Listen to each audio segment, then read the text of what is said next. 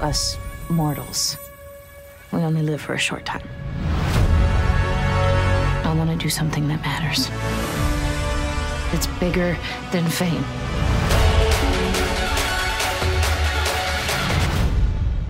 I believe poetry can be powerful. Even more powerful than you.